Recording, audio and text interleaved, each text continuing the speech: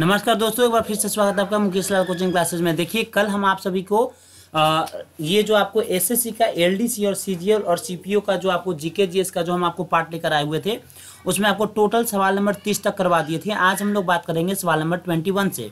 माफ़ कीजिएगा thirty one से। तो देखिए सवाल नंबर थर्टी वन, हम आपको वन लाइनर बताते हैं, आपको वन लाइनर से क्या करना है, इसमें आपको बिल्कुल कान में लगाकर इसको सुन लेना है, जो भी आज तक एसएससी में पेपर में आए हुए हैं जीके जीएस उसी का हम चर्चा इस वीडियो के माध्यम से कर रहे हैं। देखिए, सवाल नंबर थर्टी वन कह रहा है, गुवाहाटी से चंडीगढ़ तक मानसूनी वर्षा की प्रवृत्ति क्या होती है? तो ये आपका हर्षमान प्रवृत्ति की होती है, हर्षमान प्रवृत्ति की। अगला सवाल कह रहा है कि भारत में प्रायद्वीपीय नदी से संबंध सबसे ऊँचा निकास बेसिन कौन सा है?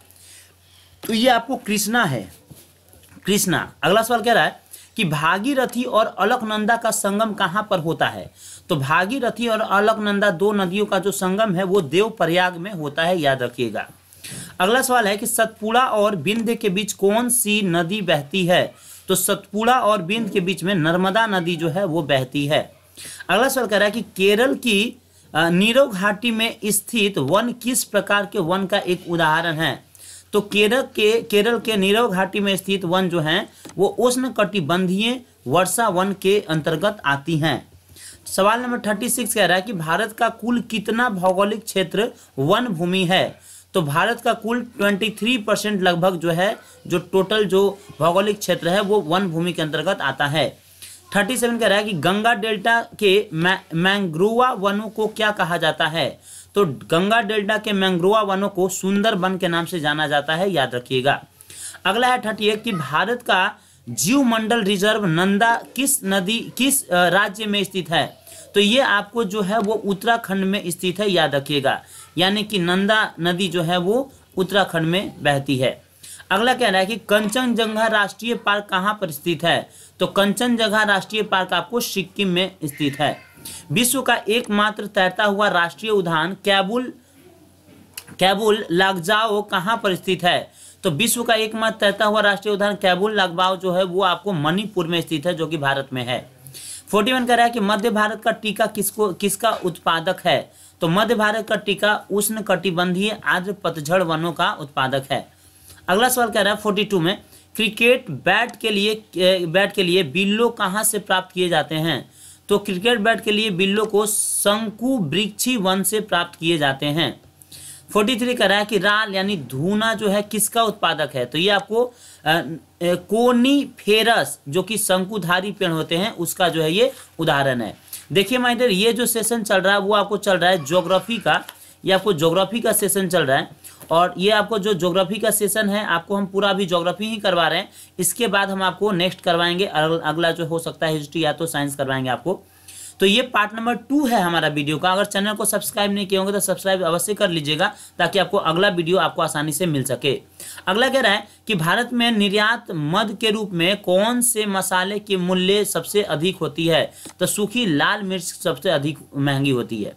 मुंबई मुंबई हाई किससे संबंधित है? तो मुंबई हाई जो है वो पेट्रोलियम से संबंधित है, याद रखिएगा। पेट्रोलियम से संबंधित है। अगला सवाल कह रहा है कि भारत की कुल जनसंख्या का कृषि में नियुक्त प्रतिशत कितना है लगभग? तो ये आपका टोटल लगभग पचास प्रतिशत है। भारत में तेल की पहली पष्टीकरण शाला जो है स्थापित कहाँ पर की गई थी? तो ये किया गया था डिगबोई में, जो कि आश्रम में पड़ता है। फोर्टी एट कह रहा है, कांडला पतन पोर्ट जो है वो कहाँ पर स्थित है? तो कांडला पतन पोर्ट कच्छ की घाटी में स्थित है। जवाहरलाल नेहरू बंदरगाह कहाँ पर स्थित है?